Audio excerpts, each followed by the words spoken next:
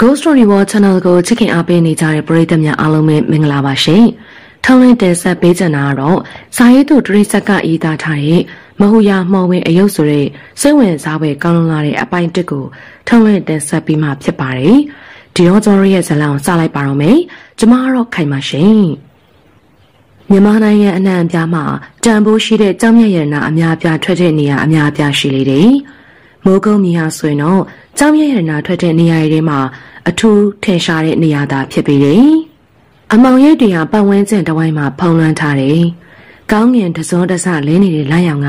ကျိုးတို့ကျဲတဲ့တာရှိနေတဲ့တစ်ပင်တွေကြားနေမြေပြင်ပေါ်မှာကြာနေတာ။တစ်ချုံတွေရှိတဲ့နေရာတွေမှာတော့အမောင်ရိပ်တွေကရှိသေးတယ်။ဆက်ကျွမ်းပေါ်မှာ ကက်ရိုင်းတိုးနေတဲ့သူတွေကတော့ဓားလန်လန်နဲ့တွေကင်ဆောင်ကအမောင်ရိပ်တနေရာမှာစောင့်ဆိုင်လေးရှိနေတယ်။မရှိမလားမှပဲမြေပြင်ပေါ်ကိုတပွန်းပွန်းနဲ့နင်းလာတဲ့ခြေတံကိုကြားရတယ်။စောင့်နေကြတဲ့သူတွေမှာအတန်ကြားရကိုအာယုံဆိုင်ကြည့်နေစဉ်တောဆက်ကနေမဲမဲတရံကြီးထွက်လာလေတယ်။သူတို့ထောင်ထားတဲ့ကြောက်ရွံ့ကြီးပင်ဖြစ်ပြီးတော့တယ်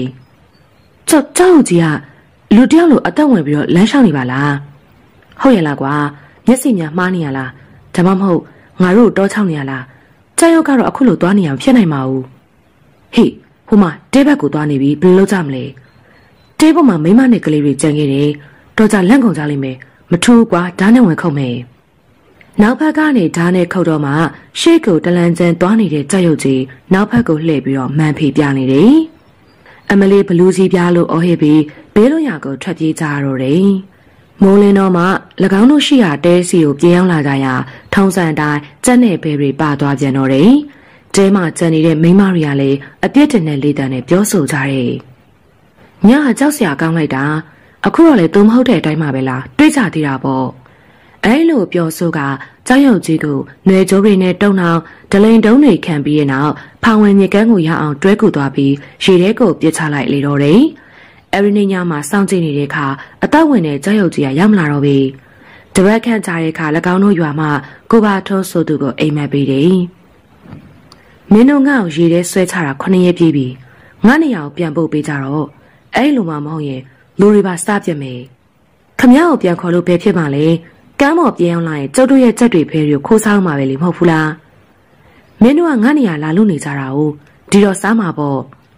အခုရေထဲရောက်နေတော့ဘာတက်နိုင်သေးလဲ အပေါ်တော့ဘယ်နည်းနဲ့မှပြန်မတင်တော့ဘူးဒီလိုတော့မလုပ်ပါနဲ့ကွာမင်းတို့နဲ့ငါနဲ့အပေးယူတစ်ခုတော့လုပ်ကြမယ်ဘလို့အပေးယူမျိုးလဲငါ့ကိုရေထဲကနေပြန်ဆွဲတင်ပြီးတော့မူလနေရာကိုပြန်ထားပေးပါပြီးရင်ငါစားဖို့ထမင်းနဲ့ဟင်ပို့ပေးလူတွေတောင်စားဖို့နိုင်နိုင်လုပ်နေရတဲ့အထက်မှာအဲ့လိုတော့ဘယ်ဖြစ်မှာတော့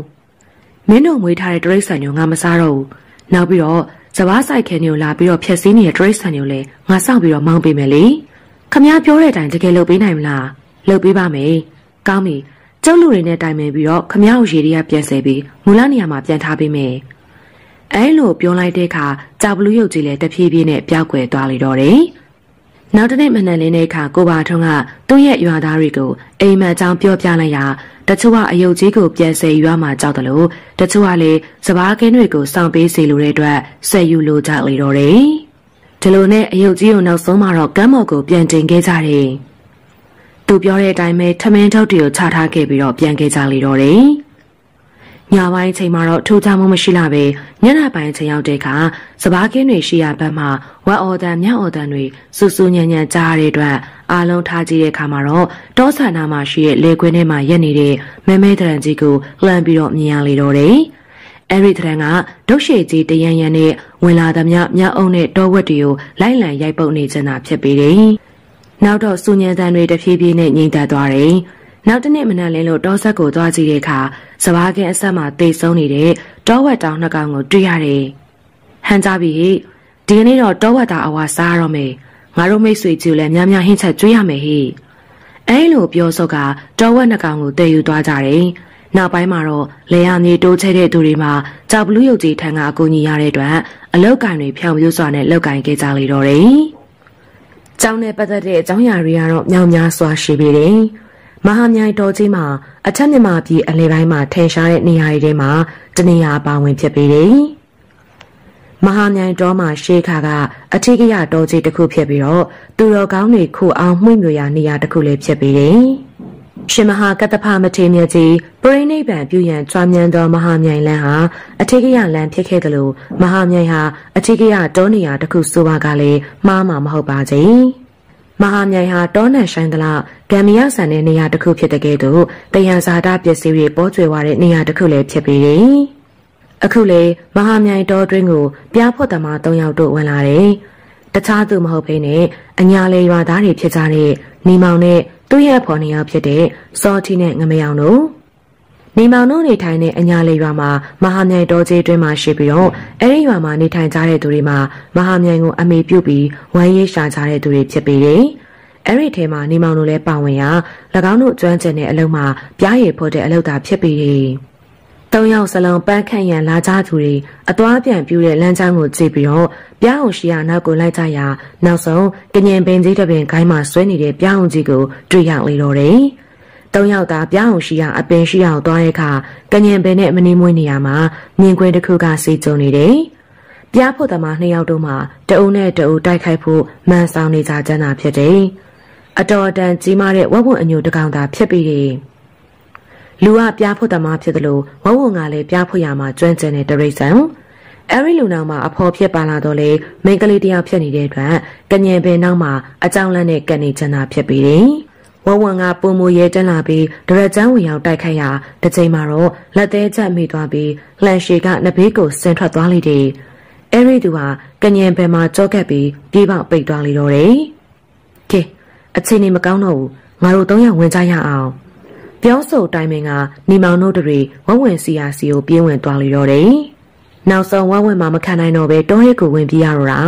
။အခုလုံဝင်ရောက်အကူညီပေးရကျေးဇူးတင်ပါတယ်။ဓာတ်ချက်မင်းတို့ကပြဖို့သမားတွေလား။ဟုတ်ပါရဲ့ဦးလေး။အော်ဖြစ်ရလေ။ဒီပြောင်းမှာငါတို့နှစ်ဖွဲ့ပါဝဝဝင်မှာပါလာပြီးတော့လာဆုံနေကြတာဦး။ဒီပြောင်းမှာဦးလေးအရင်တွေ့ရဆိုတော့ဦးလေးပဲဖုတ်ပြီးတော့ယူလိုက်ပါ။ဒါလိုလည်းပဲဟုတ်ပါမလဲကွာ။မင်းတို့ကကျေးဇူးရှင်လေ။ ဒီတော့မင်းတို့ပဲယူလိုက်ပါငါတို့ကနှင်းရွာကြီးမှနေတယ်ငါနာမည်ကထန်ဖုံးရှိန်လို့ခေါ်တယ်ငါသမီးကစောမြလာလို့ခေါ်တယ်ကြုံရင်ဝင်လေပါထမင်းဟင်းနဲ့ဧကန်ကျလို့အဲလိုပြောဆိုကတာဖာနှစ်ယောက်တို့မှတောရဲကိုပြန်ဝင်သွားလေတော့တယ်ညီမဘလို့ဖြစ်ပြီးတော့ကြမ်းခဲ့တာလေတစ်ချက်လေးဝေ့ကြည့်သွားနဲ့အသက်ရှူကိုမေ့သွားပြီလားဟမ်မဟုတ်ပါဘူးကွာမဟုတ်ဘူးတာဆိုရင်မင်းကြည့်ရတာငိုင်းချန်နေခဲ့တယ်လို့ပဲတထက်သူတို့ကြည့်ရတာပြဖို့သမားတွေနဲ့မတူတယ်လို့ပဲနော် ဘလို့ဖြစ်လို့တော့သူကသာပြဖို့မယ်လို့ပြောတာသူ့စီမှာလှန်တစ်ချောင်းကလွယ်လို့တခြားဘာပစ္စည်းမှမပါဘူးတနေရာမှာထားခဲ့လို့ဖြစ်မှာပေါ့ဒါမှမဟုတ်လေခရီးသွားတွေဖြစ်စဉ်ဖြစ်နေမှာပေါ့ဘာပဲဖြစ်ဖြစ်ပါကွာစောမြလားဆိုတဲ့မင်းကလေးကတော့လှတာအမှန်ပဲတစ်ခေါက်လောက်နှင်းရွာသွားပြီးချိန်နေသွားကြည့်ရင်ကောင်းမှာပဲနော်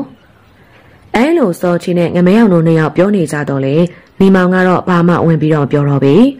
သို့တော်စိတ်ထဲမှာတော့စောမြလားဆိုတဲ့မိန်းကလေးရဲ့ပုံရိပ်ကဆွဲကြံရစ်ခဲ့လေတော့တယ်။နေမောင်တို့နေတဲ့အညာလေရွာနဲ့နှင်းကြီးရွာမှာလင်းကားမိုင်ခန့်သွားကွာဝေးတယ်။ရှေးခါကတော့ရွာစုလေးတာဖြစ်တော့လေအင်္ဂလိပ်တွေအုပ်ချုပ်မှုအောက်ရောက်သွားတဲ့အခါရွာငယ်တစ်ခုဖြစ်နေတတ်မှတ်ပေးလေတယ်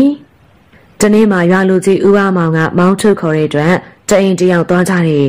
။မင်းတို့ခေါ်တာတခြားမဟုတ်ဘူး။အခုတစားမုံလာဆန်းပြီးပြီဆိုတော့ဖျားခွဲကျမ်းပါဖို့ရက်က တဲပြီးတော့မဝေးလာတော့ဘူးဒီတော့ဖះနဲ့ကြောင်ပတ်ဝန်းကျင်ကခြုံတွေပိတ်ပေါင်းမျိုးရှင်းလင်းကြဖို့ခေါ်တာဖြစ်တယ်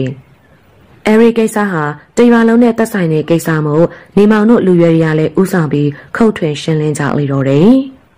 နေမောင်ဟိုစိုးချုံကြီးကတော့ဘယ်သူမှရှင်းဝင်ပုံမပေါ်ဘူးဘယ်လိုလုပ်မလဲဒီတိုင်းထားလို့မှဖြစ်တာကွာရှင်းရမှာပေါ့မင်းရှင်းမလားอืมဗာလေအထဲမှာရွှေငွေအိုးတွေတွေ့မြများထင်နေလို့လား ဖះပတ်ဝန်းကျင်မှာဘယ်သူမှမရှင်းစင်တဲ့စူးစုံကိုရှင်းတာပဲရွှေအိုးမရလဲဘာရေးလဲကွာရွှေထက်တန်မှုရှိတဲ့ကုသိုလ်ရမှာပေါ့ကွာမင်းတို့တွေကတခြားနေရာရှင်းကြဒီနေရာငါ့အတွက်သာထားခဲ့ပြီတော့အဲဒီနောက်မှာတော့ဘယ်သူမှမရှင်းချင်တဲ့မရှင်းဝန်းတဲ့စိုးချုံကြီးကိုဓာတလန်းနဲ့ခုတ်ထွင်ရှင်းလင်းလေတော့တယ်တချို့ကလည်းနေမောင်တယောက်တည်းစိုးချုံကိုအာကျုံမှန်တက်ရှင်းနေတာမြင်တော့နောက်ပြောင်တဲ့သဘောနဲ့လာပြောကြလေတယ်စူးစမ်းထားနေမောင်ကြီးစိုးချုံထဲမှာရွှေအိုးရှိချင်ရှိနေမှာကွာ ငါသာရွှေအိုးရလို့ရတော့လေရှိသမျှရွှေငွေတွေကိုစိုးကြုံတွေကိုကျဲချလိုက်မှာပေါ့အဲ့ဒီခါကျရင်စိုးကြုံကိုအလူရဲ့ရှင်းပြီးရွှေရှာကြမှာမဟုတ်လားဟမ်အဲလိုသာပြောတဲ့အခါတာဟာနဲ့ရေမောပြီးတော့ပြန်ထွက်သွားလိတော့တယ်နေမောက်နေနဲ့ပြောတာပြောရတာသူတာဝန်ယူထားတဲ့စိုးကြုံကအတော့များလေတယ်ဘလို့လဲနေမောင်လက်လျှော့လိုက်ပြီလားစိုးကြုံရှင်တာဘာကြောင့်လက်လျှော့ရမှာလဲကွာမင်းတယောက်တည်းမနိုင်ရင်ငါတို့ဝိုင်းရှင်ပေးမလေပေးရမလားဟမ်ရပါတယ်ကွာ တခြားနေရာမှာသာအပေးတအောင်ရှင်းချစမ်းမှာဒီနေရာတစ်ဝိုက်မှာရှိတဲ့စိုးကြုံကတော့ငါတာဝန်သာထားလိုက်နေမောင်ကအပြုံးမပြတ်ပြန်ပြောပြလိုက်လေတော့တယ်ဒီလိုနဲ့အနေရမြောက်တဲ့နေ့မှာမိုးချုပ်ခံနေချိန်မှာတခြားသူတွေပြန်ရန်ပြင်ဆင်ကြတော့လေနေမောင်မှလက်စမတက်နိုင်သေးပဲနဲ့ဆက်ရှင်းမြေရှင်းနေသေးတာရှိသေးတာနေမောင်ကြီးစိုးကြုံနေမှများညအိမ်မလို့လားဟာပြန်ကြရအောင်လေပြန်နှစ်ကြကွာမနေ့ပြန်လက်စားတတ်နိုင်အောင်လို့ဒီကနေ့တော့နည်းနည်းဆက်ပြီးတော့ရှင်းလိုက်အောင်မယ်။ ဘာလဲစိုးကြုံနေရရွှေဦးကိုငါတို့မြန်မာဆိုလို့တယောက်တည်းကြံ့နေရလား။ဒီလိုနဲ့ညမောင်တန်းလာတဲ့အခါစိုးကြုံရှင်းရတာကပို့ပြီးတော့ခက်လာတယ်။နေမောင်ကတော့အကြောင်းလည်းမရှိစိုးကြုံကြီးတစ်ချုံကိုဇွဲကောင်းကောင်းနဲ့ဆက်ပြီးတော့ရှင်းနေစဉ်တနေရာရောက်တဲ့အခါဓားကတစုံတစ်ခုကိုတွားရောက်ခုံမိတယ်။အပေါ်မှာစူးကြုံနေရှင်းသွားတဲ့အခါမှာတော့မြေအောက်မှာတစွန်းတစားထွက်နေတဲ့ကြောက်တုံးကဲ့သို့အရာတစ်ခုကိုတွေ့ရလေတော့တယ်။ ဒါကြောင့်အပေါ်မှာအုပ်နေတဲ့စူးကြုံတွေကိုဖယ်ပြီးတဲ့နောက်ကြောက်တုံးလေးကိုကတ်ကြည့်တယ်။အဲဒီခါမှာပို့ပြီးတော့အံ့ဩရတာကြောက်တုံးမဟုတ်ပဲနှယုံနဲ့ပုံတရံတူလာတဲ့ကြောက်ရုပ်တစ်ခုပင်ဖြစ်ပြီးတယ်။ဒီနေရာမှာညောင်ပင်ရှိတော့ရှေ့ရလူတွေကရုပ်ကစိုးနဲ့ရုပ်ထားခဲ့တာဖြစ်မယ်။မြေကြီးတဲ့မြုပ်နေတာမကောင်းပါဘူး။တူးဖော်လိုက်ရင်ပိုကောင်းမှာပေါ့။ဒလိုစိတ်ကူးကနေယုံနဲ့ပုံတရံတူတဲ့ကြောက်တုံးကြီးနှစ်ပေးမှမြေသားတွေကိုတူးဆွနေရင်းမှာပဲနောက်ထပ်ထိုးဆန်းတဲ့အရာတစ်ခုကိုတွေ့ရလေတော့တယ်။ အဲ့ဒါကတော့ကျင်းနဲ့ပြုတ်လောက်ထားတဲ့တစ်တာငယ်တစ်လုံးဖြစ်တယ်။မိမမမမျောလင်းပဲကျင်းသက်တာတစ်လုံးထပ်မှန်တွေ့တဲ့အတွက်များစွာစိတ်လှုပ်ရှားသွားတာ။ဟိုလူတွေပြောသလိုရွှေငွေတက်တာများဖြစ်နေရောသလား။စိုးကြုံကြီးရှင်းပြီးတဲ့အတွက်ရုပ်ကစိုးကြီးကငါ့ကိုဆုလန့်ညာပေးတာလား။တွေးရင်နဲ့ကျင်းသက်တာလေးကိုကောက်ယူလိုက်တယ်။อืมဒီနေ့တော့အချိန်မရှိတော့ဘူးကျေးသက်တာလေးကိုအိမ်ယူသွားပြီးတော့ဖွင့်ကြည့်မှဖြစ်မယ် ဒလိုစိတ်ကူးကကျေးသက်တာလေးကိုလွယ်တွင်းကိုထည့်ပြန်ခဲ့လေတော့တယ်ပြန်လာစလမ်းမှာမိန်းကလေး၃ယောက်နဲ့တွေ့ရတယ်တခြားမဟုတ်ဖေးနဲ့သူတို့ရွာမှာခင်နေပန်းတဲ့အဖေါ်မိန်းကလေးနှစ်ယောက်ခင်နေပန်းရဲ့မိဘတွေမှာရွာမှာကြီးပွားချောင်လဲကြားတဲ့သူတွေဖြစ်ပြီးတော့လဲမြေရမြေအတော်လေးပိုင်ဆိုင်ထားတဲ့သူတွေမိဘရှိန်ဝါနဲ့ခင်နေပန်းမှာအနှင်းငယ်တော့မာနာကြီးတဲ့သူဟဲ့နီမောင်ဒီအချိန်ရောက်မှလွယ်တလုံးတွေဓာတ်တစ်ချောင်းနဲ့ကြက်ခိုးပြီးတော့ပြန်လာတာလား နေရမရှိစင်းရဲသားတွေဆိုရင်ခိုးစားမယ်ချင်းညာထင်နေရလားငါတို့ကလူစင်းရဲပြီမဲ့စိတ်ထားမယုံမှကြဘူး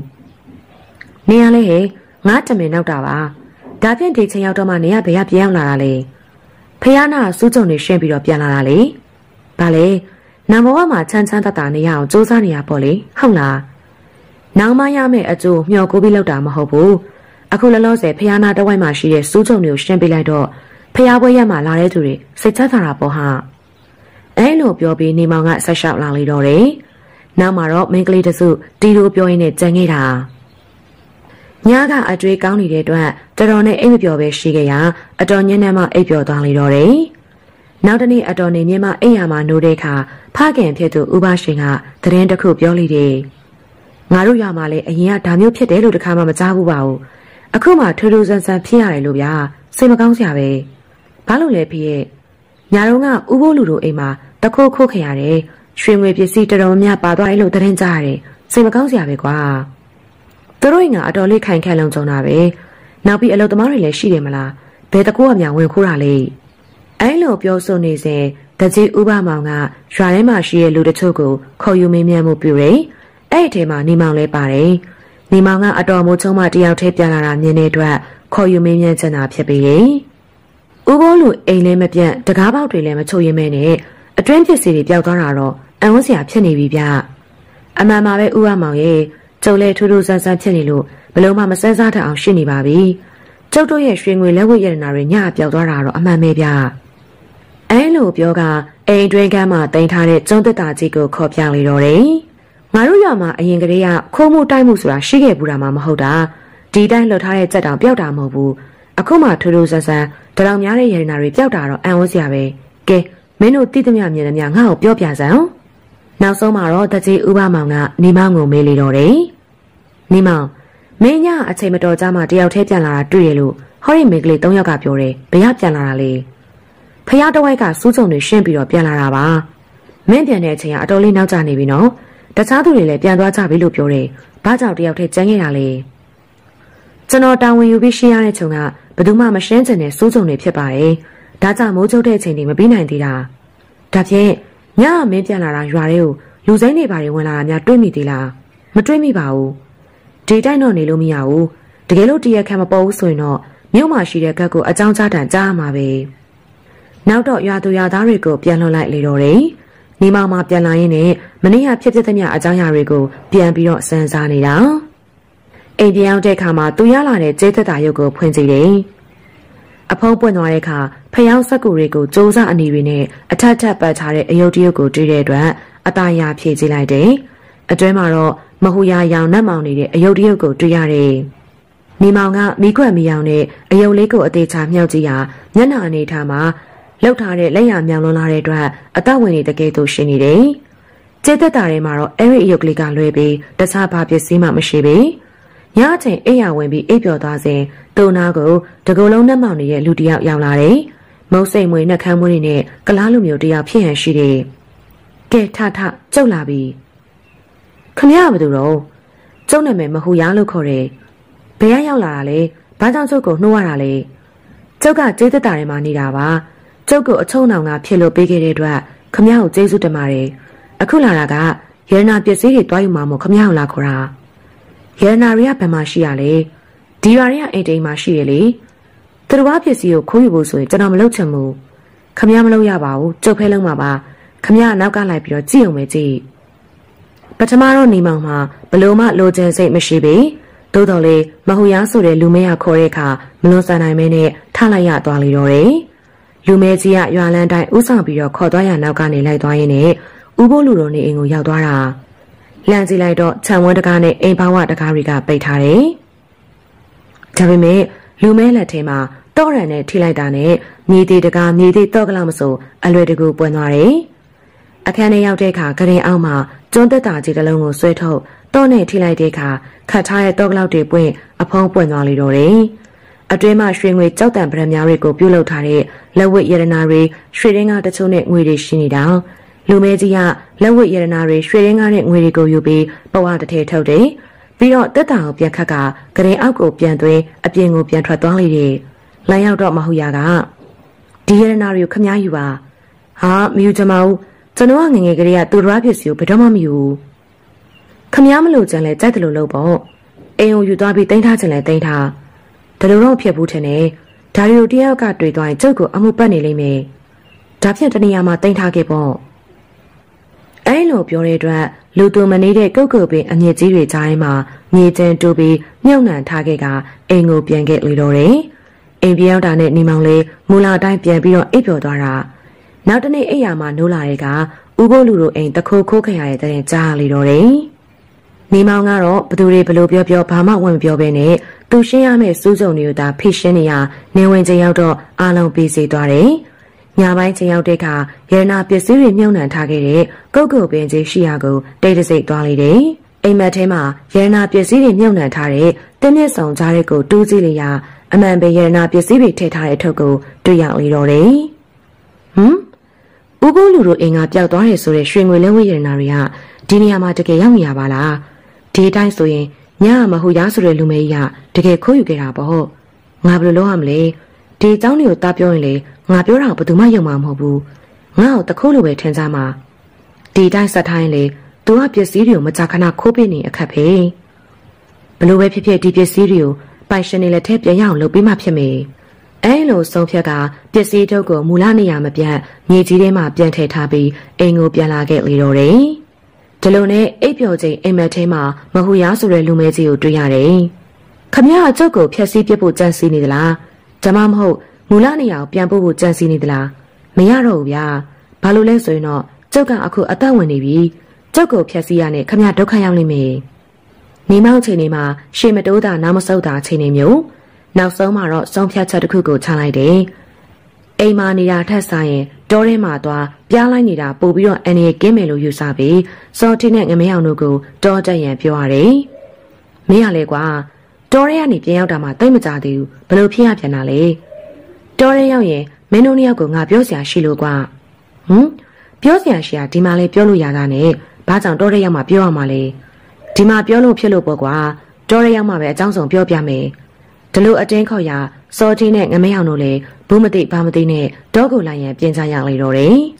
တော်ရရောက်တဲ့ခါမှာတော့နေမောင်ကနှစ်ယောက်စလုံးကိုသူ့ရဲ့အကြောင်းကိုပြောပြလိုက်လေတော့တယ်ဟမ်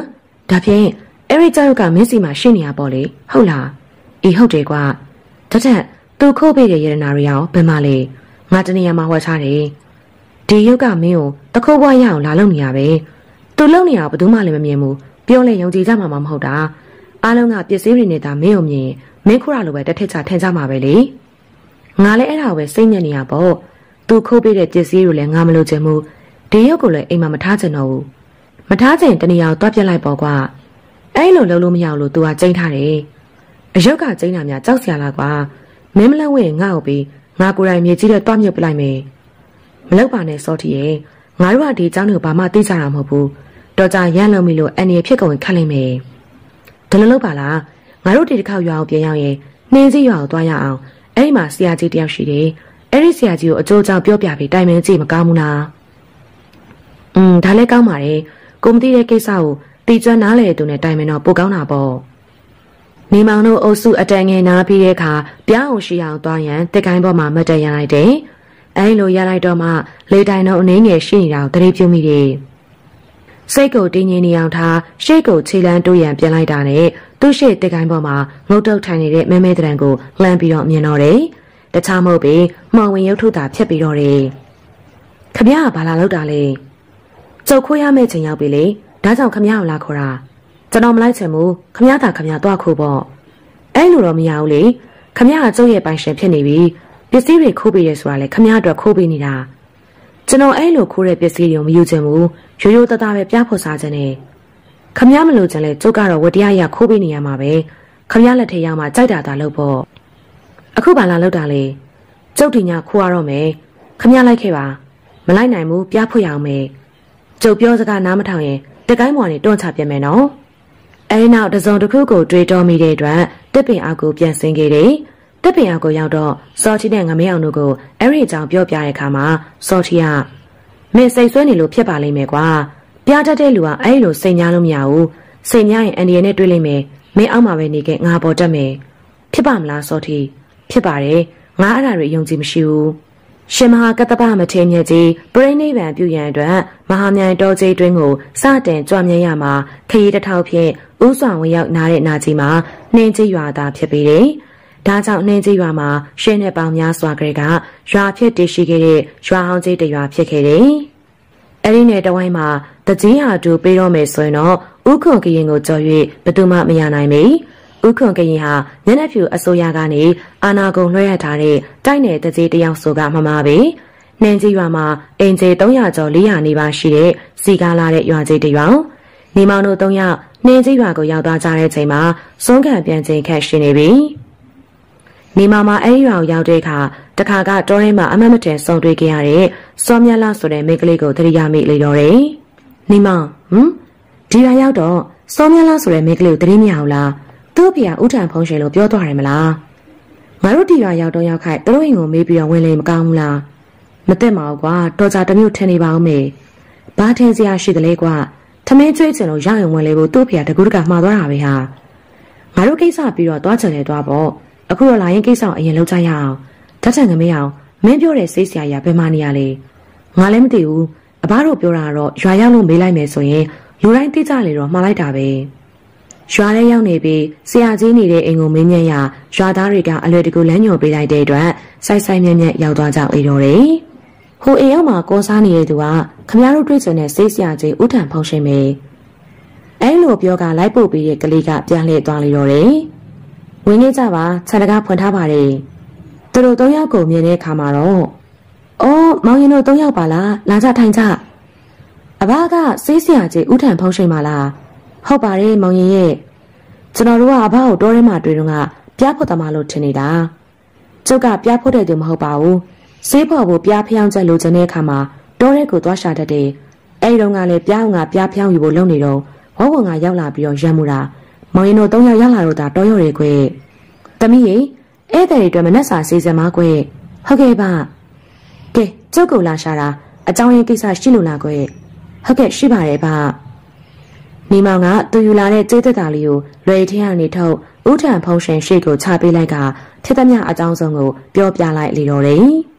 ဒီရုပ်ကတမန်အယုံမဟုတ်ဘူးမောင်ရင်ရဲ့မဟူရကြောင်းမြူတွေကိုအသက်သွင်းထားတဲ့ရုပ်ဘလို့အသက်သွင်းတာလဲဗျ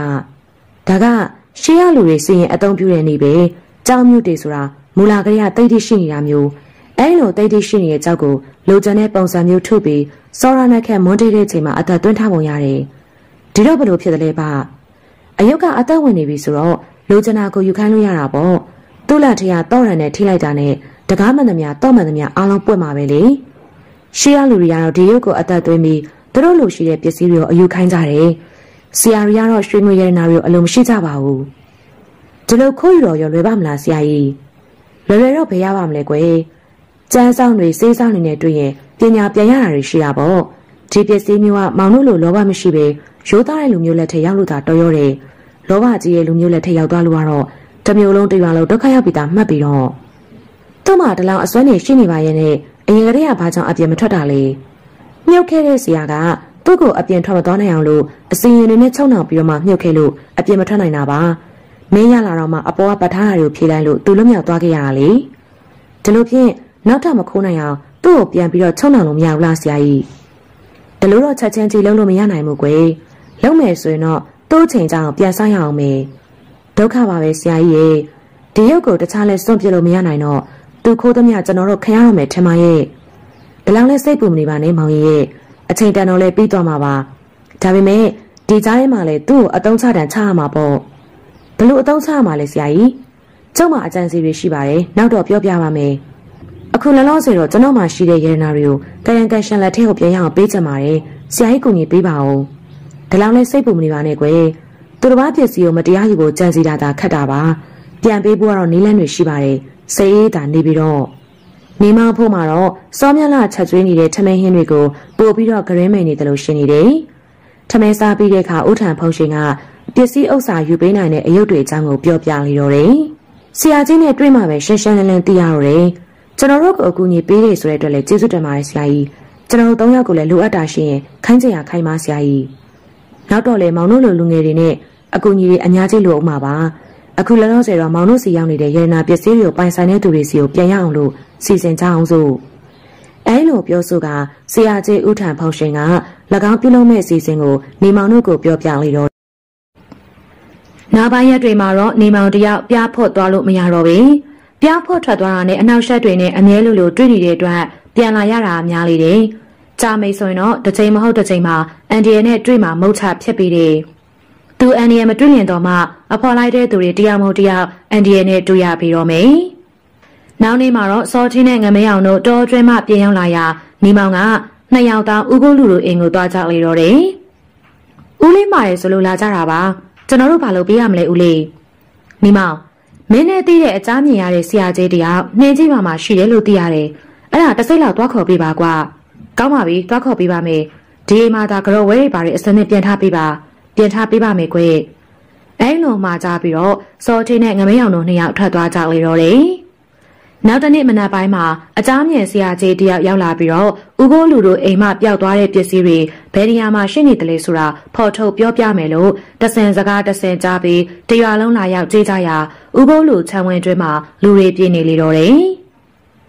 ရောက်လာတဲ့သူကတော့ဦးထံဖုံးရှိန်သာဖြစ်ပြီးတယ်။ဦးထံဖုံးရှိန်ကဖျားစင်ကိုကြော်ပြီးရင်တော့ဦးကိုလူတို့ဘက်ကိုလှည့်ပြီးတော့မိတယ်။ပစ္စည်းပျောက်တာဘယ်နည်းရှိနေပြီလဲ။တပတ်လောက်ရှိပါပြီဆရာကြီး။ဖျောက်တဲ့ပစ္စည်းကအတော့များသလား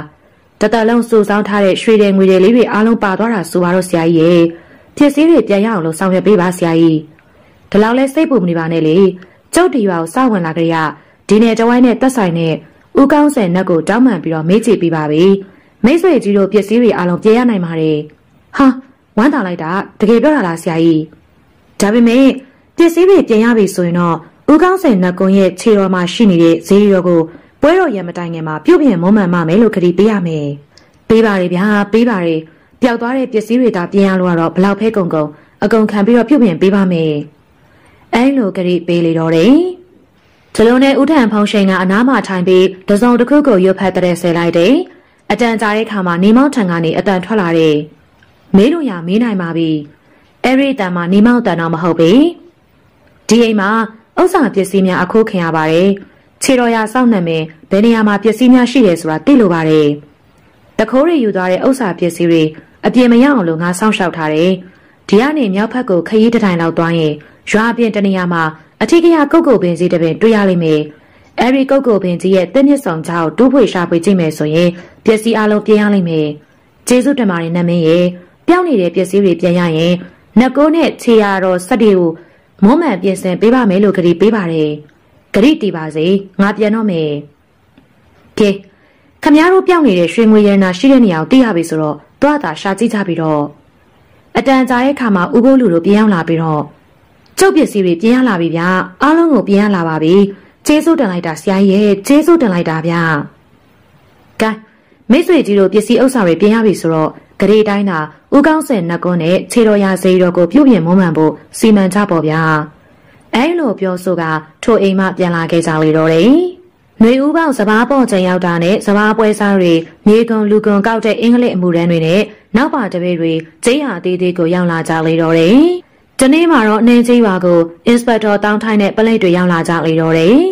တောင်းထိုင်းမှာအသက်30ကျော်ခန့်သာရှိသေးပြီးအရက်သေးစားကြိုက်တတ်တဲ့လူပြိုလူအုပ်တဦးသာဖြစ်ပြီးတယ်ဒါပေမဲ့လည်းမိမပွေတတ်တဲ့သူမလို့အတေတကြမယူတော့လေ၎င်းနဲ့ညီစွန်းပြီးတော့ဘဝပြက်ခရတဲ့မိန်းကလေးတွေမှာမနေလာတော့ပဲအခုလေလူကုန်လာတဲ့သူတွေတွေကမှတချို့မိမျိုးလေးတွေပါလာရဆယ်ပါးဝါကနေပြိုင်ဆောင်နေတဲ့ကဲ့သို့စောင့်ကြည့်နေတယ်အဲ့ဒီထဲမှာစောမြက်လာလည်းပါလာတယ် ဦးထံဖုံးရှိန်အိမ်မှာမရှိတဲ့အတွက်တာဖာနှစ်ယောက်အတွက်လူကုန်ကိုလာရောက်ပေးဆောင်ချင်တာဖြစ်ပေတယ်စောမြက်လာဝင်လာတာကိုမြင်တာနဲ့တောင်းထိုက်ကအနီးမှာရှိတဲ့ရွာကောင်းတယောက်ကိုသူကဘာတူလဲဒီရွာပါပဲသူ့နာမည်ကစောမြလာလို့ခေါ်ပါတယ်အင်စပက်တော်မင်း သူကလူလူတရားမဟုတ်လားမှန်ပါတယ်တားဖနှစ်ယောက်ထဲနေတာပါသူ့ဖေကဆေးဆရာတယောက်ဖြစ်ပါတယ်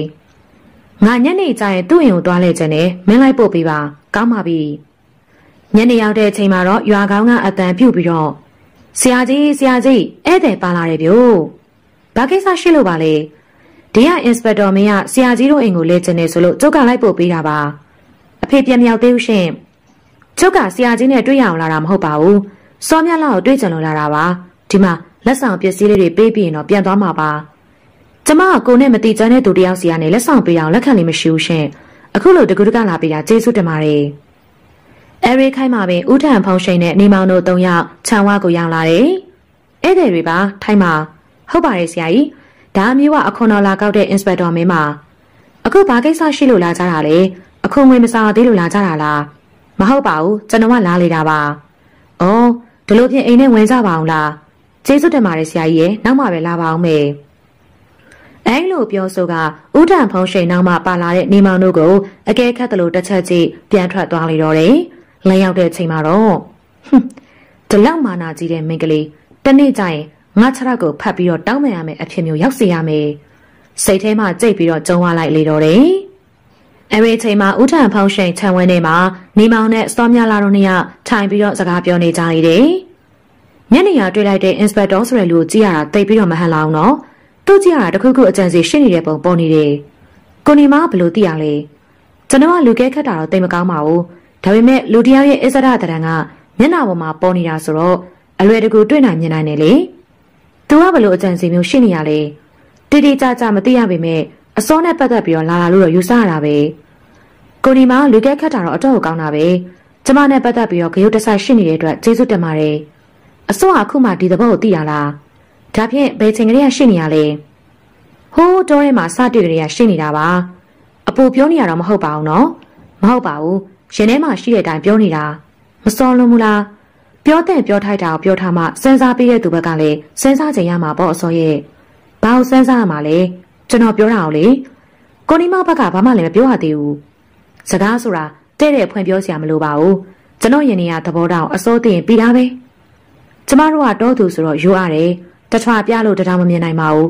နောက်ပြီးတခါမှလည်းဒီလိုအပြောမခံရဘူးတော့အတွေ့အကြုံမရှိတော့မသိနိုင်ပါဘူးကဲ ဒီလိုမှဖြစ်တော့ပုံမှန်လင်းလင်းပဲပြောရမှာပေါ့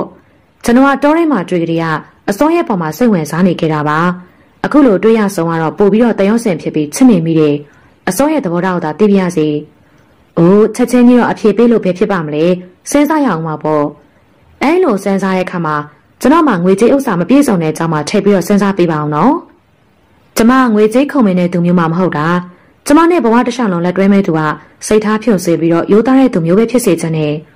ဒါဖြင့်ကျွန်တော်ရောဘယ်လိုမြင်တယ်လဲ။ကိုနီမောင်နဲ့တွေ့ကြတာမကြသေးပေမဲ့အဘပြောပြလို့ကိုနီမောင်ရဲ့အတွင်းသဘောကိုသိတယ်လို့သိထားပေးပါပြီ။ဒါလို့ဆိုရင်ကျွန်တော်အတွက်ညွန်လင်းချက်လီတော့ရှိနေသေးတာပေါ့နော်။ဒါကတော့အချိန်တန်တော့သိရမှာပေါ့။အင်စပက်တော်တောင်းထိုင်းနဲ့အခွန်တော်ငွေကောက်ခံရလာကြတဲ့သူတွေမှာနောက်တနေ့မှာကောက်ခံရရှိတဲ့ပစ္စည်းတွေထည့်ဖို့အတွက်တက်တာဖွင့်လိုက်တဲ့အခါမှာအတွင်းမှငွေတွေပျောက်ဆုံးနေတာကိုတွေ့ရလေတော့တယ်။ဟာ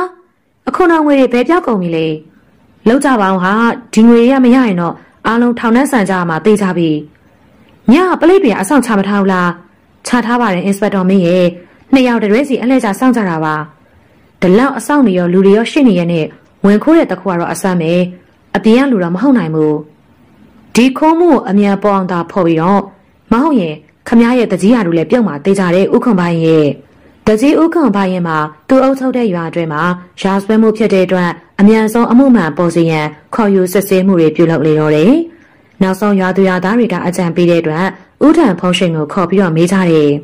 ဥထံဖုံးရှင်ကထုံးစံတိုင်းဥကောင်းဆယ်နက်ကိုပင်ဖိတ်မေးမြန်းတော်လေအခုတော်ငွေမှာတခြားနေရာရောက်သွားပြီဖြစ်တဲ့အတွက်ကြောင့်ပြန်မရနိုင်တော့ကြောင်းပြောပြလေတော့တယ်။တထက်ခမရတခြားရွာလူတွေရဲ့ပစ္စည်းတွေပြောင်းလို့ခေါ်မေးတော့ကတော့နေရာနဲ့တကွပြောနိုင်တယ်လို့သတင်းကြားရတယ်။ အခုကျုပ်တို့တရွာလုံးနဲ့တက်ဆိုင်တဲ့ငွေတွေပျောက်တာကြတော့မပြောနိုင်တော့ဘူးလား။ဒါကတော့နှက်ပြောတဲ့အတိုင်းပြန်ပြောရတာပဲလေ။ရတာမရတာတော့ကျုပ်လည်းမတတ်နိုင်တော့ဘူး။ကျုပ်ရွာထဲမှာစုံစမ်းကြည့်တော့ခမရအိမ်မှာတခြားရွာလူစိမ်း၃ယောက်ရောက်နေတယ်လို့သတင်းကြားရတယ်။ကျုပ်ဒီ၃ယောက်ကိုမသိငောင်းတော့။သူတို့ကကျုပ်စီမှာပညာလာတင်နေတဲ့ကလေးတွေပါခမရတို့မတင်ငါကြိုက်တယ်လို့မေးမြန်းဆက်စင်းနိုင်တယ်ကျုပ်အိမ်မှာလည်းကြိုက်တယ်လို့ရှာဖွေနိုင်တယ်နော်အဲလိုခက်မမပြောပြီးတော့ပြန်လာခဲ့လေတော့တယ် တကြီးဥခွန်ဘရင်အိမ်ကိုရောက်တဲ့အခါပလိတ်တွေကကျုံးနဲ့တုပ်နေမောင်တို့ကိုထိုးကျက်ရိုင်းနှက်ပြီးတော့ဆက်ဆေးမင်းမြန်လေတော့တယ်ဒီတရွာလုံးမှာအပြင်ကရောက်နေတဲ့လူစိမ်းဆိုလို့မင်းတို့၃ယောက်ပဲရှိတယ်ကဲမှန်မှန်ပြောစမ်းမင်းတို့ဒီရွာဘလို့အကြံစီနဲ့ရောက်နေကြတာလဲဆရာကြီးစီမှာပညာသင်ဖို့လာနေကြတာပါမလိန်ချားနဲ့မင်းတို့အကြောင်းကိုကောင်းကောင်းသိရသူတွေဒီရွာမှာရှိတယ်မင်းတို့၃ယောက်စလုံးအညာလည်းရွာမဟုတ်လားဟုတ်ပါတယ်ဟိုမှာဘာလို့စားကလေးပြဖို့ကြတာပါ ပြဖို့စားတဲ့သူတွေကစေပညာသင်နေဆိုတော့ဘလို့ကြိမ်ပြောလို့မှယုံနိုင်စရာမရှိဘူးကဲမှန်မှန်ပြောကြမင်းတို့ဒီရွာအကြံစီတစ်ခုနဲ့ရောက်နေကြတာမလားကျုပ်တို့မှာဘာအကြံစီမှမရှိဘူးတခြားအကြံစီမရှိဘူးဆိုရင်တော့မင်းကစေးစရာကြီးတမျိုးလာပိုးနေတာမလားအဲ့ဒါကျုပ်ရဲ့ကိုကြီးကိုရာကိစ္စပါလူပန်းဝလို့ကွာမင်းတို့သုံးယောက်ကိုဒီတိုင်းပြန်မလွတ်နိုင်ဘူးအမှုမပေါ်ရင်ငါအလုပ်ပြုတ်ပြီးတော့ထောင်ထဲဝင်ရမှာဆိုတော့မပေါ်ပေါ်အောင်စိတ်ရမှာပဲ အဲလိုပြောဆိုကမိမောင်တို့သုံးယောက်ကိုထိတ်တောင်းခတ်ပြီးတော့ချုံနှောင်ထားလိုက်လေတော့တယ်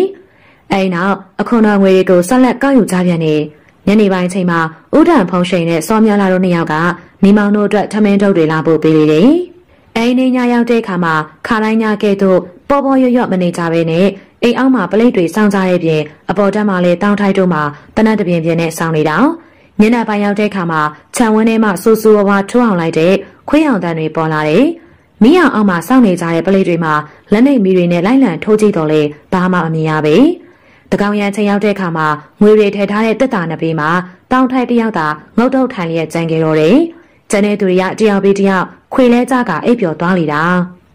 အယောင်ဖမ်းမှခွေးအောင်တန်နေကြားကလေးကတောင်းထိုင်းမှာတနက်ကိုအစင်သင်းပြန်ပြီးတော့ထိုင်ဆောင်နေစမ်းပါပဲပိတ်ထားတဲ့တကားပေါက်မှာကြွေကနေပွင့်သွားလေတော့တယ် တော့ခတ်ထားတဲ့တကားနှစ်ချက်မှာတစုံတယောက်ကတွန်းဖွင့်လိုက်တဲ့ကဲ့သို့ပွင့်သွားခြင်းဖြစ်ရာတောင်းထိုက်မှာမျက်လုံးပြူသွားပြီးမနီးမွေးမှာအိပ်ပျော်နေတဲ့သူတွေကိုနှိုးရန်ဟန်ပြန်လိုက်တော့လေအတန်ကမထွက်လာနိုင်တော့သလိုလူကလည်းအသက်ရှိနေသေးတော့လေမလုံနိုင်တော့တဲ့ကြောက်ရွံ့ပမာတောင်းတောင်းနေဖြစ်သွားလေတော့တယ်ဒိုးစီကမူတတိကောင်းစွာရနေပြီးတော့မျက်စိကလည်းမြင်နေရတယ်။ပွင့်သွားတဲ့တကားပေါက်ကိုလှမ်းကြည့်လိုက်တော့မမဲတရံတစ်ခုတကားပေါက်ဝကနေဝင်လာနေကြပြီ။ တောင်ထိုက်ကသူချထားတဲ့တနက်ကိုကောက်ယူရန်စူးစမ်းတော့လေလက်ကလှုပ်လို့မရပြီ။တကားပေါက်ဝမှဝင်လာတဲ့မဲမဲတရံကမြေသူ့အမခရုံးမဆိုင်ဖဲနဲ့အခန်းအတွင်းကိုဝင်လာတာ။အနားရောက်လာပြီးတော့မောကြည့်လိုက်တဲ့အခါအဲရီသူမှတကူလုံးနှမောင်လေးရှိပြီးဥကောင်းပေါ်မှာပေါင်းပြီးတော့ခေါင်းပေါင်းထုတ်ထားတယ်။သူ့ရဲ့မျက်လုံးမှာကြောင်မဖွယ်ရကောင်းတယ်လို့စိတ်ထဲမှာထင်မိတယ်။ငုံကြည့်ပြီးတော့ဘာမပြောညာမပြောနဲ့တောင်းထိုက်ရဲ့ပါနဖက်ကိုဘဲပြန်ညာပြန်ရိုက်ချလိုက်တာ။ တောင်းထိုက်မှာမလုံရှက်နဲ့တောင်းတောင်ကြီးခံလိုက်တဲ့အတွက်အတော်လေးတော့အထင်နာသွားတယ်။သူ့ရဲ့ပါဇက်ကနေသွေးတွေစေးကြနေတာ။ဘပြီးတော့လူမဲကြီးကငွေသက်တာအနီးမှာထိုင်နေတဲ့တောင်းထိုက်ကိုလက်တစ်ဖက်ထဲနဲ့ဂုတ်ကနေဆွဲဘေးကိုရွှေ့ချလိုက်တယ်။အဲလိုရွှေ့ပြီးတော့မှသူ့လက်ထဲမှာတော့နဲ့ငွေသက်တာကိုဖွင့်လိုက်တယ်။ပြီးတော့အတွင်းမှာငွေတွေကိုအိတ်တလုံးနဲ့ကိုအားလုံးထည့်ယူပြီးတော့သက်တာဖုံးကိုပြန်ပိတ်တော့ခံလိုက်တယ်။တော့ပိတ်ပြီးတော့မှတောင်းထိုက်ကိုဂုတ်ကနေဆွဲသက်တာနှစ်ဘေးကိုပြန်ချထားခဲ့ပြီးတော့အပြင်ကိုပြန်ထွက်သွားလိတာ။ သူထွက်သွားပြီးတဲ့အခါမှာတော့အိမ်တကားကလည်းအလိုလိုပြန်ပိတ်သွားလိတယ်။အဲရိကာကြမှာတောင်းထိုက်လေအိပ်ပျော်နေရကနေလန်နိုးလာတကယ်တော့တတိပြန်ဝင်လာတယ်။ပထမဦးစွာဆက်ပြင်းပြင်းဖြတ်နေတဲ့ဗဆက်ကိုလက်နဲ့စမ်းစီတော့သွေးတွေကစုနေတာကြပြားကြခါးကြမှာတော့နဲ့ငွေသက်တာဖွင့်ကြည့်လိုက်တဲ့အခါအတွင်းမှာတပြားတစ်ချမ်းမှမရှိတော့ဘူးလောက်ကြပါဦးထကြပါဦးဟာအခွန်တော်ငွေတွေအခုခင်ရပြန်ပြီဟေ့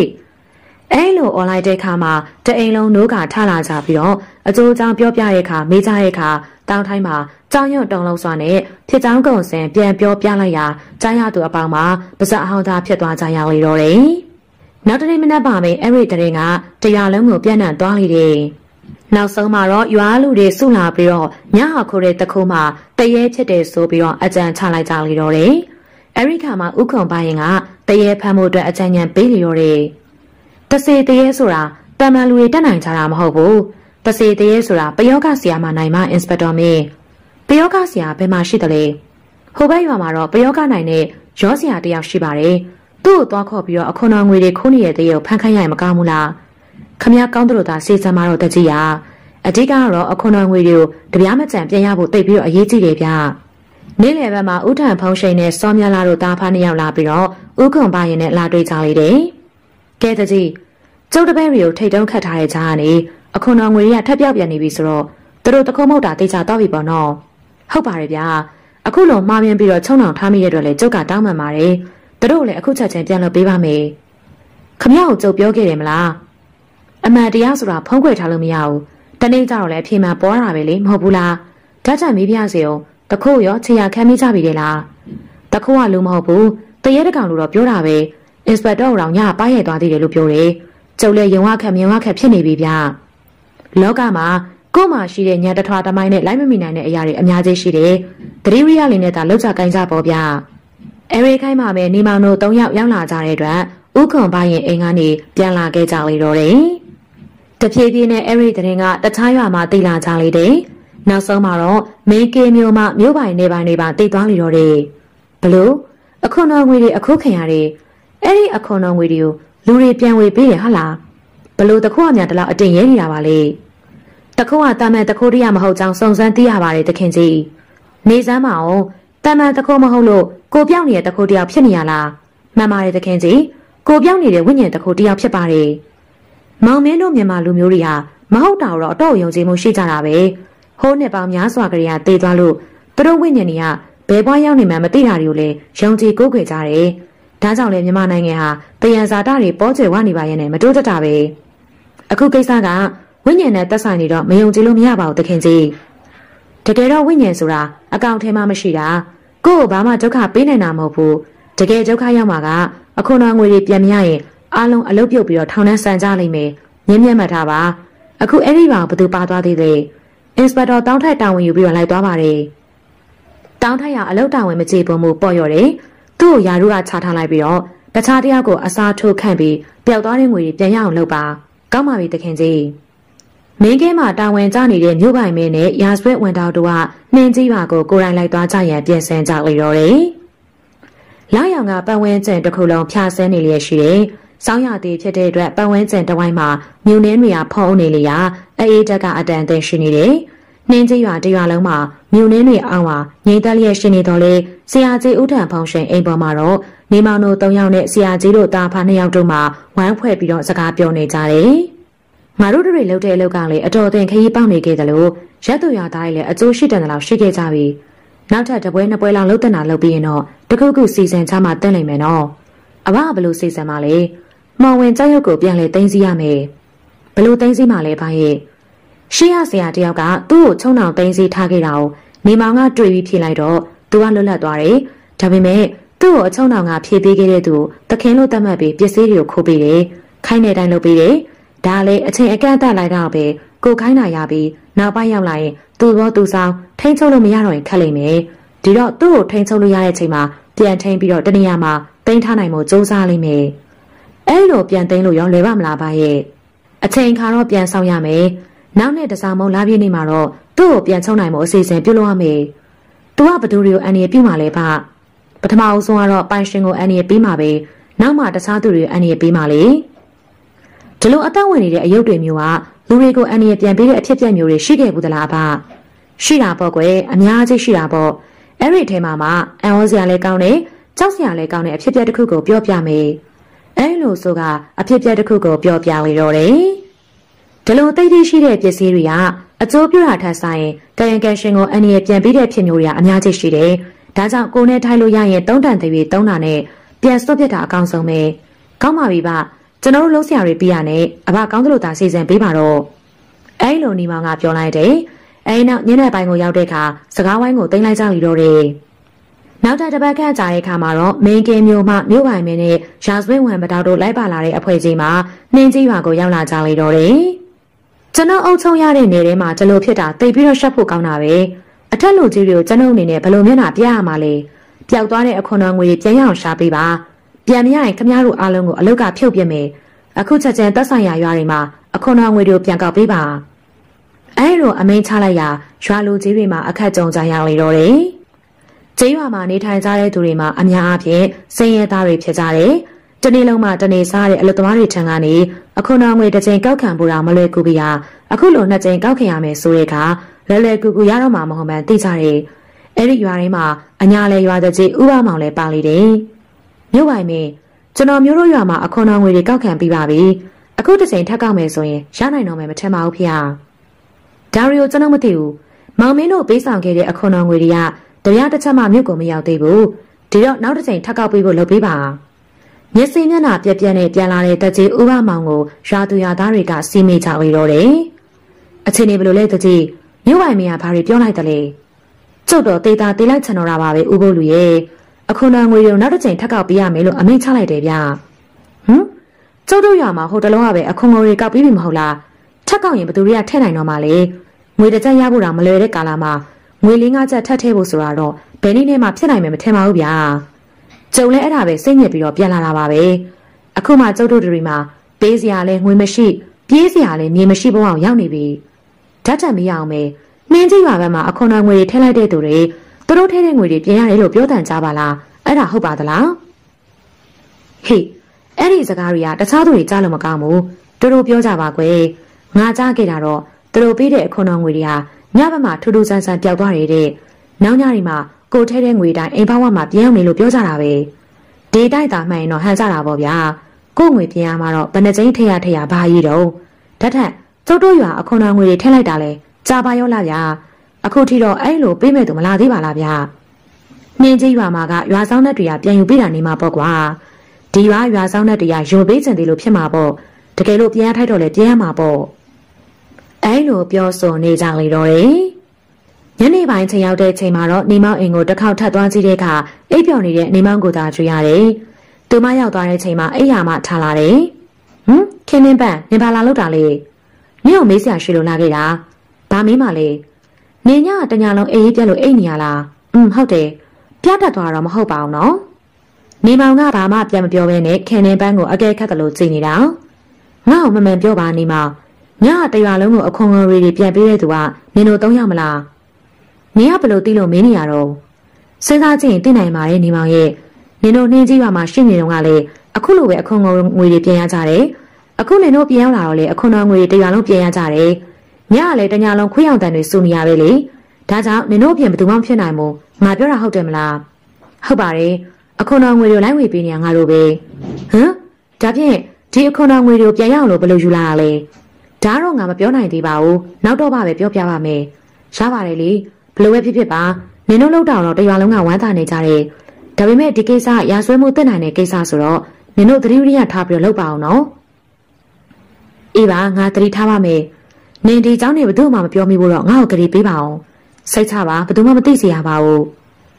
နောက်ပိုင်းရက်တွေမှာလည်းမြို့ပိုင်မင်းနဲ့ရာဆွဲဝန်ထောက်တွေကနှင်းကြီးရွာမှာစတဲ့ချနေထိုင်ပြီးကျေးရွာဒေသီမှလူကြီးတွေကိုစင့်ခေါ်ပြီးရနောက်အခွန်တော်ငွေတွေထပ်မံကောက်ခိုင်းလေတော့တယ် အညာမှာတော့အဆောင်ကျနေတဲ့ပလိတ်တွေပြောပြချက်ရအခွန်တော်ငွေတွေကိုလာရောက်ခွင့်ယူသွားတဲ့တခုံးမှာတာမန်မဟုတ်ဖ ೇನೆ တကူလုံးနဲ့မောင်နေတဲ့ကလားလူမျိုးတအုပ်ဖြစ်ပြီးကိုပြောင်းနိုင်တယ်လို့ပြောကြလေတော့တယ်ပထမတော့တောင်ထိုက်တယောက်သွေးယူသွေးတန်းပြောတယ်လို့ထင်မိတော့လေသူတို့ကိုယ်တိုင်လက်တွေ့ကြုံရမှယုံကြည်ကြလေတော့တယ်တခုကအတော်လေးကိုထိုးဆန်းတဲ့တခုဖြစ်ပါတယ်ငွေတွေကိုခိုးတာကသူ့အတွက်ခိုးနေတာမဟုတ်ပါဘူးဒါဖြင့်ဘသူ့အတွက်ခိုးနေရလဲအခွန်တော်ငွေတွေကိုခိုးပြီးရွာသားတွေကိုပြန်ဝယ်ပေးနေတာဖြစ်ပါတယ် ဟမ်အစမ်းပါလားဒီတခုကသူကိုယ်တိုင်ရာဆွေးအသက်ခံပြီးအများအတွက်အကျိုးဆောင်နေတဲ့တခုပါလား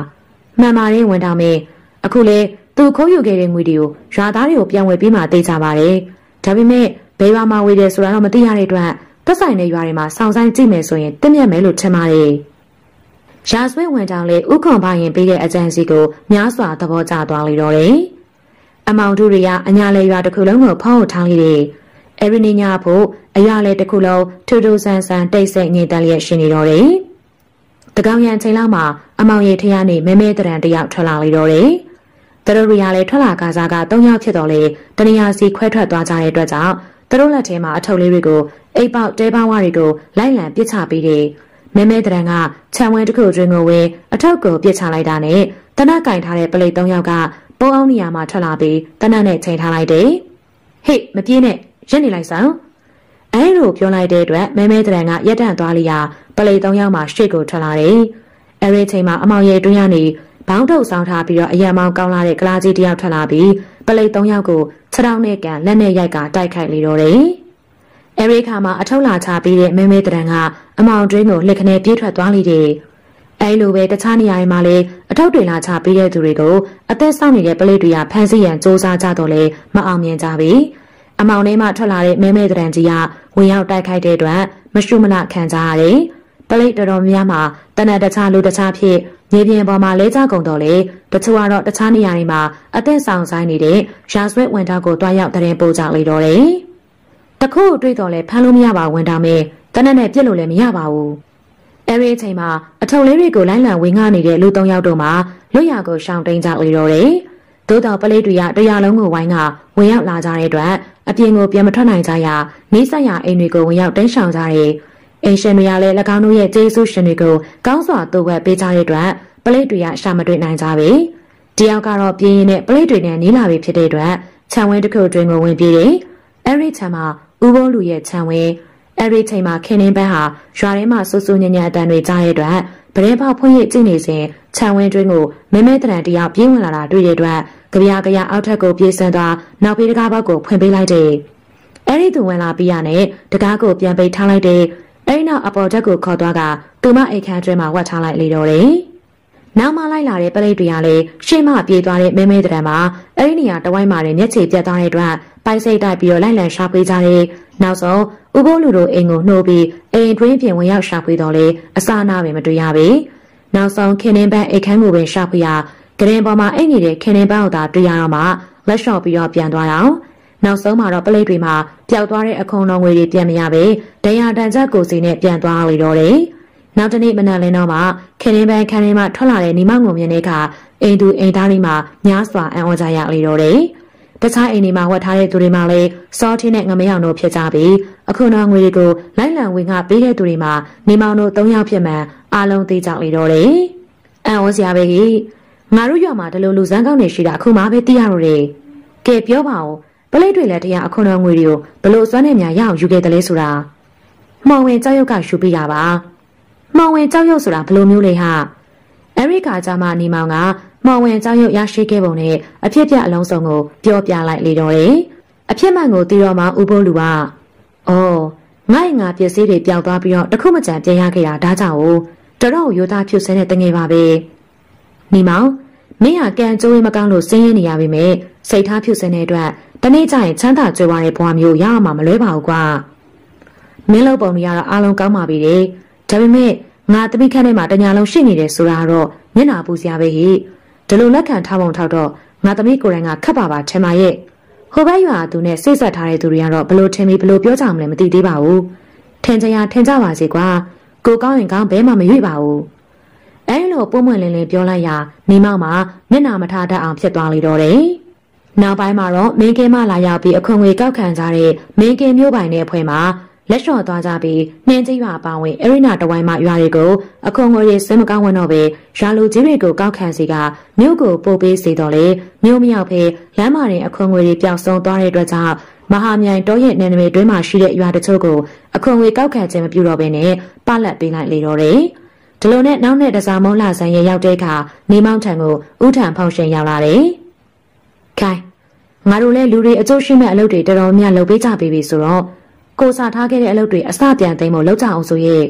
ဟုတ်ပါတယ်ဆရာကြီးကောင်းတယ်လို့သာစေစံမှာတော့ဘယ်လိုလုပ်ကြမလဲဆရာကြီးအခုလိုအတန်းဝင်နေတဲ့မှောင်ဝင်ကြောက်ရွံ့မျိုးကသူ့ကိုအချိန်ကြာကြီးပြင်မှာထားလို့မတည်ဘူးတော်ကြအစွမ်းထက်တဲ့ဆရာတယောက်နဲ့တွေ့တိုင်းခတ်လိမ့်မယ်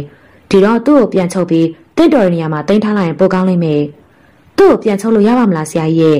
ရပါတယ်တစားမုံလာပြင်းနေမှာနှက်ခတ်စီရင်နဲ့ပြန်ချုပ်ရင်ရတယ်နောက်တော့ဘယ်လိုလုပ်မလဲဆရာကြီး